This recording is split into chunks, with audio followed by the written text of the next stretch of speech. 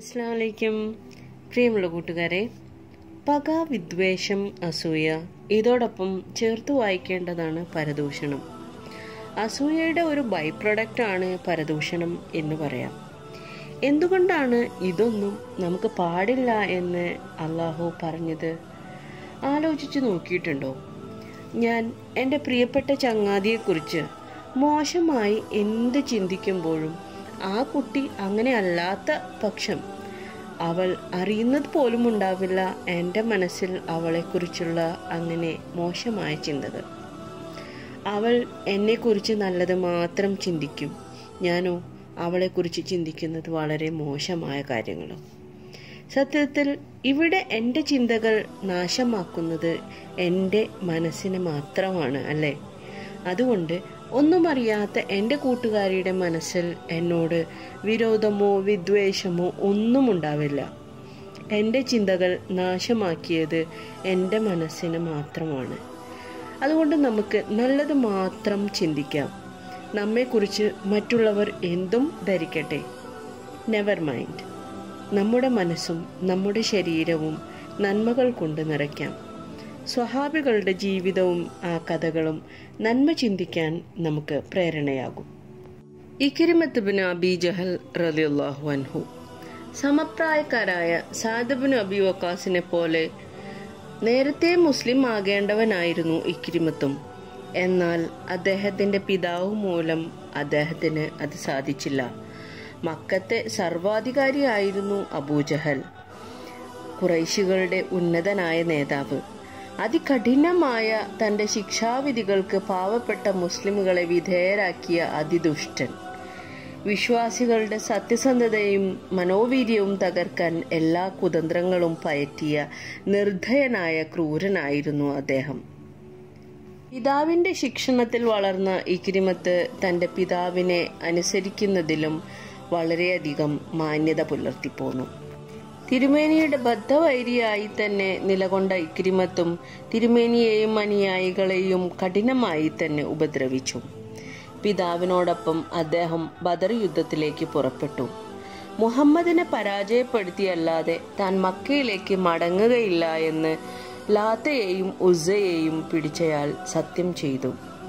ബദറിലിറങ്ങിയ ഇക്കിരിമത്തും കൂട്ടരും ഒട്ടകമാംസവും തിന്നും കള്ളുകുടിച്ചും കളിച്ചും മതിക്കുകയായിരുന്നു. ലാത്തയും ഉസയും പോലുള്ള ദൈവങ്ങൾ അവരുടെ പ്രാർത്ഥന കേട്ടില്ല. പിതാവിന്റെയും മകന്റെയും വിളിക്കുത്തരം നൽകാതെ ആ ബദറിൽ അവർ പരാജിതരായി. അബൂജഹൽ ബദറിൽ കൊല്ലപ്പെട്ടു. ആ മൃതശരീരം തിരിച്ചറിയാനോ മക്കത്തേക്ക് കൊണ്ടുവന്ന് മാന്യമായി മറവ് ചെയ്യാനോ പോലും മകന് സാധിച്ചില്ല. കുറേശികളുടെ ചോദ്യം ചെയ്യപ്പെടാത്ത നേതാവും തന്റെ പ്രിയപ്പെട്ട പിതാവുമായ അബൂജഹലിനെ ബദറിൽ ഉപേക്ഷിച്ചുകൊണ്ട് ഇക്രിമത്ത് തോറ്റോടുകയായിരുന്നു. ഒടുവിൽ കലീബ് കിണറ്റിൽ മറ്റു മൃതദേഹങ്ങൾക്കൊപ്പം മുസ്ലിമുകൾ തന്നെ അബൂജഹലിനെയും മണ്ണിട്ട് മൂടി. ബദറിലെ പരാജയം വരെയും പിതാവിന് വേണ്ടിയാണ് ഇക്രിമത്ത് മുസ്ലിം ആകാതിരുന്നതെങ്കിൽ പിന്നീട് അങ്ങോട്ട് പിതാവിനെ കൊന്നവരോടുള്ള പകയും പ്രതികാരവുമാണ് അയാളെ നയിച്ചത്. ഇക്കിരിമത്തും ഒരു കൂട്ടം ചെറുപ്പക്കാരും ഒത്തുകൂടി. മുഹമ്മദിന്റെ ആളുകളാണ് നമ്മുടെ പിതാക്കളെയും സഹോദരങ്ങളെയും കൊന്നൊടുക്കിയത്. അവനെയും കൂട്ടുകാരെയും വെറുതെ വിട്ടുകൂടാ. അവരോട് പ്രതികാരം ചെയ്യണം. ഇങ്ങനെ മുഷിരിക്കളുടെ ഹൃദയങ്ങളിൽ പ്രതികാരാഗ്നി ആളിക്കത്തിക്കുകയായിരുന്നു. ഒടുവിൽ ഉഹദിൽ വെച്ച് മുഷിരിക്കുകളും മുസ്ലിമുകളും തമ്മിൽ ഏറ്റുമുട്ടി. ഇക്കിരിമിത്തിന്റെ ഭാര്യ ഉമ്മു ഹക്കീമിനോടൊപ്പമാണ് ഉഹദിലേക്ക് പുറപ്പെട്ടത്. വിധവകളായ ധാരാളം സ്ത്രീകളും ഈ സൈന്യത്തോടൊപ്പം ഉണ്ടായിരുന്നു. ദഫുകൾ മുട്ടി പാട്ടുപാടി സൈനികരെ അവർ ആവേശം കൊള്ളിച്ചു.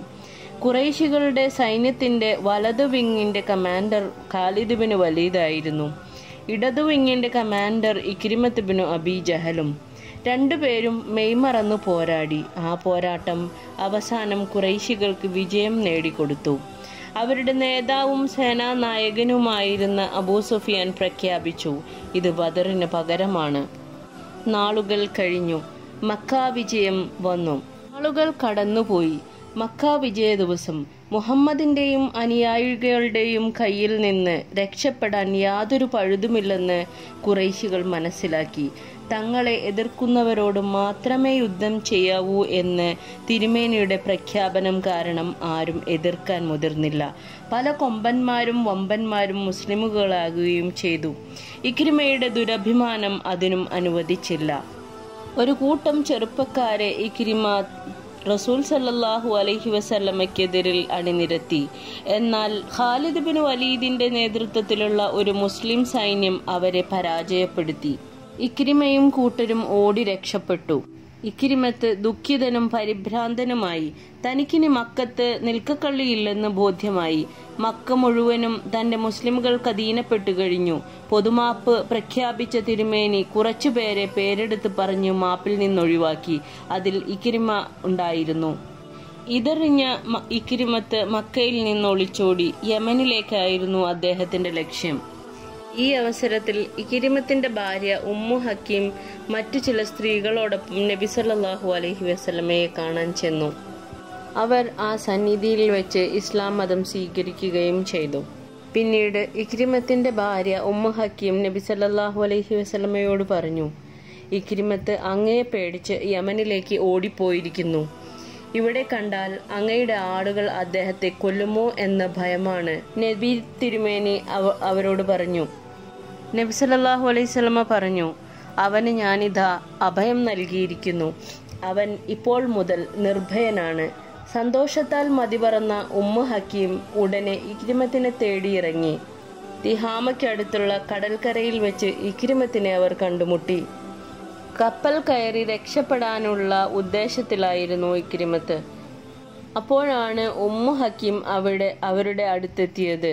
അവൾ പറഞ്ഞു ജനങ്ങളിൽ ഏറ്റവും ശ്രേഷ്ഠന്റെ ഏറ്റവും നന്മ നിറഞ്ഞവന്റെ ഏറ്റവും ഉത്തമന്റെ അതെ അബ്ദുള്ളയുടെ മകൻ മുഹമ്മദിന്റെ അടുക്കൽ നിന്നാണ് ഞാൻ വരുന്നത്.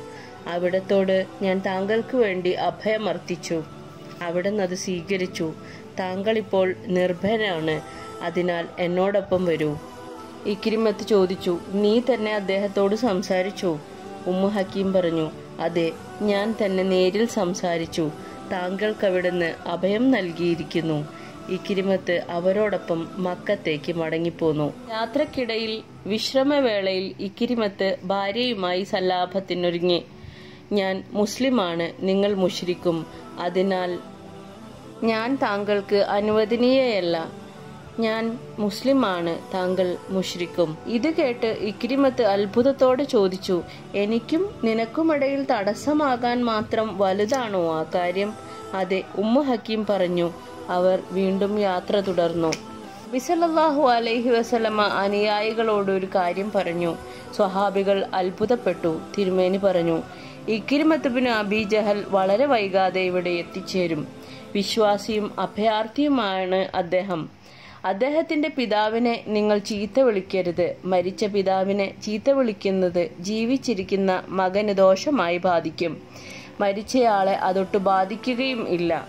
അധികം കഴിഞ്ഞില്ല. ഇക്രിമത്തും ഭാര്യ ഉമ്മ ഹക്കീമും നടന്നു വരുന്നു. ഇക്രിമത്ത് അടുത്തെത്തിയപ്പോൾ തിരുമേനി എഴുന്നേറ്റ് ചെന്ന് അദ്ദേഹത്തെ സ്വീകരിച്ചു. റസൂൽ സല്ലാഹു അലഹി വസ്ലമ ഇരുന്നു. അവിടുത്തെ അരികിൽ ഇരിക്കാൻ ഇരി- ഇക്രിമത്തിനോട് പറഞ്ഞു. ഇക്രിമത്ത് അതിന് മടിച്ചു. മുഹമ്മദ് താങ്കൾ എനിക്ക് അഭയം നൽകിയ വിവരം ഉമ്മ ഹക്കീം എന്നോട് പറഞ്ഞു. റസൂൽ പറഞ്ഞു സത്യമാണ് അവർ പറഞ്ഞത്. താങ്കൾ നിർഭയനാണ്. ഇക്രിമത്ത് ശരി എന്താണ് പകരമായി ഞാൻ ചെയ്യേണ്ടത്? റസൂൽ സല്ലാഹു അലഹി വസ്ലമ പറഞ്ഞു അള്ളാഹു അല്ലാതെ ഒരാരാധ്യനില്ലെന്നും അവന്റെ അടിമയും ദൂതനുമാണ് ഞാൻ എന്നും താങ്കൾ സാക്ഷ്യപ്പെടുത്തണം. അതാണ് താങ്കളിൽ നിന്ന് ഞാൻ ആഗ്രഹിക്കുന്നത്. നമസ്കാരം നിർവഹിക്കണം. ജക്കാത്ത് നൽകണം. നോമ്പ് അനുഷ്ഠിക്കണം. ഇങ്ങനെ ഇസ്ലാമിക കാര്യങ്ങളെല്ലാം തിരുമേനി എണ്ണിപ്പറഞ്ഞു. പിന്നെ ഇക്കിരിമത്ത് തന്റെ വലതുകരം നീട്ടി തിരുമേനിയുടെ കൈ പിടിച്ചു. അള്ളാഹു അല്ലാതെ യാതൊരു ആരാധനമില്ലെന്നും അവിടുന്ന് അള്ളാഹുവിന്റെ അടിമയും ദൂതനുമാണെന്നും ഞാൻ സാക്ഷ്യപ്പെടുത്തുന്നു. തിരുദൂതരെ ഇനി ഞാൻ പറയേണ്ട ഏറ്റവും നല്ല വാക്യം എനിക്ക് പഠിപ്പിച്ചു തരിക. തിരുമേനി പറഞ്ഞു അഷ്ഹദു അല്ലാ ഇലാഹ ഇല്ലല്ല അഷ്ഹദു അന്ന മുഹമ്മദ് റസൂലുള്ള. ഇക്കിരിമത്ത് ചോദിച്ചു പിന്നെ? തിരുമേനി പറഞ്ഞു ഞാൻ മുസ്ലിമാണ് മുജാഹിദാണ് മുഹാജിറാണ്. ഇതിന് അള്ളാഹുവും ഇവിടെ കൂടിയവരും സാക്ഷിയാണ് എന്നുകൂടെ പറഞ്ഞോളൂ. ഇക്കിരിമത്ത് അതേറ്റു പറഞ്ഞു. കുറച്ചു കഴിഞ്ഞ് ഇക്കിരിമത്തിനോട് അവിടുന്ന് പറഞ്ഞു ഇന്ന് താങ്കൾ എന്നോട് എന്ത് വേണമെങ്കിലും ചോദിച്ചോളൂ. അത് ഞാൻ താങ്കൾക്ക് തരിക തന്നെ ചെയ്യും ഇക്കിരിമത്ത്. ചോദിച്ചു ഞാൻ താങ്കളോട് ഒരുപാട് ശത്രുത കാട്ടിയിട്ടുണ്ട് റസൂലെ. താങ്കളുടെ സാന്നിധ്യത്തിലും അഭാവത്തിലും പലതും ദുഷിച്ച് സംസാരിച്ചിട്ടുണ്ട്. അതൊക്കെ എനിക്ക് പുറത്തു തരാൻ അള്ളാഹുവിനോട് പ്രാർത്ഥിച്ചാലും അത് മാത്രമാണ് ഞാൻ ആവശ്യപ്പെടുന്നത്. തിരുമേനി ഇങ്ങനെ പ്രാർത്ഥിച്ചു അള്ളാഹുവേ എന്നോട് ഇദ്ദേഹം കാണിച്ച എല്ലാ ശത്രുതകളും നിന്റെ പ്രകാശത്തെ കെടുത്തിക്കളയാൻ ഇദ്ദേഹം നടത്തിയ എല്ലാ ശ്രമങ്ങളും എന്റെ മാനം കെടുത്തുമാറ് എന്നോട് നേരിട്ടും എന്റെ അസാന്നിധ്യത്തിലും ഇദ്ദേഹം നടത്തിയ എല്ലാ സംസാരങ്ങളും ഇദ്ദേഹത്തിന് നീ പുറത്തു കൊടുക്കണമേ.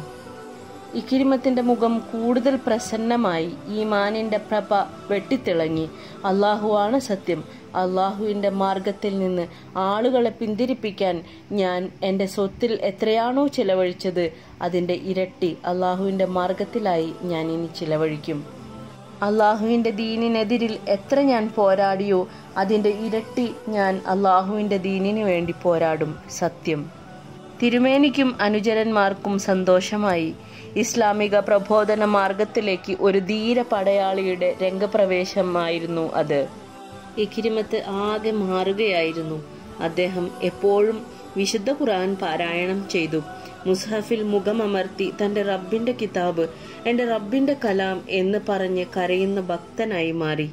തിരുമേനിയുമായി ചെയ്ത ഉടമ്പടി പാലിക്കുന്നതിൽ ഇക്കിരിമത്ത് ഉത്സാഹം കാണിച്ചു.